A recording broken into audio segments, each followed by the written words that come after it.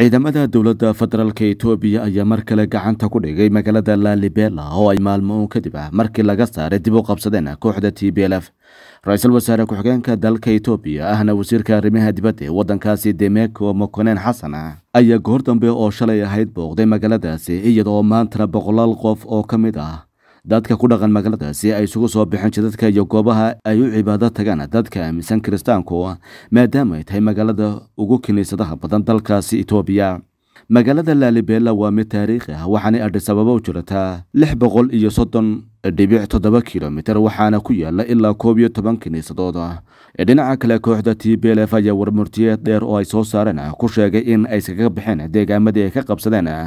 qoomiyadaha amxarada iyo canfarta dibna ugu laabteen deegaankooda tigree warmurtiyeedkan oo noqonaya kii labaad ee toddobaadkan uu soo saaro hogaamiyaha kooxdaasi. Debresion gabramakel ayaa waxa uu ku socodsiiyey xogayaha guud ee qaramada midoobay waxaanu ku doodayaa in ay dhinacooda markan diyaar u yihiin wadahadal aanay shuruudi ku xidhnayn in ay la galaan xukuumadda ra'iisul wasaare abiy axmed oo kaga awood roonaatay dagaaladii ay kula jireen.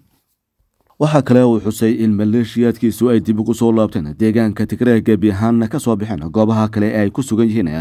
kuwaas oo sida uu sheegay iminka durba soo faaruqiya deegaamadii ay ku sugnaayeen marka laga yimaado ciidamo ka tirsan t b l f oo ay goodoomiyeen kuwa dowladda federaalk etoobiya kuwaas oo uu ku rajo wen yahay in ay dib ugu soo laaban doonaan deegaanadooda. Geesta kale hogaamiya debrasion gabramakel waxa uu ka codsaday qaramada midoobay in deegaanadooda laga dhigo mid ay ka caagan yihiin duulimaadyadu maadaama sida uu ku doodayo ay halkaasi ka dhaceen xasuuq aan loo aaba yeelin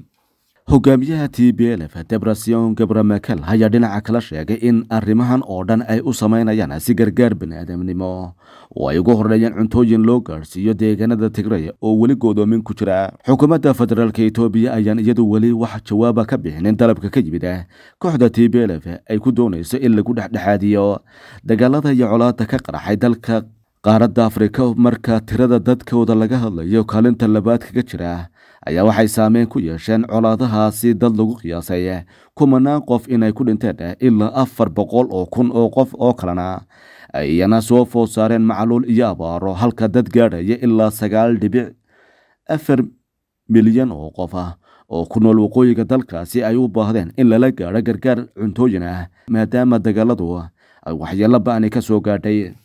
waxa aan saadaal laga bixin karin halka ay ku dambeyn doonaan dagaalada sanadka ka socda dalka etoobiya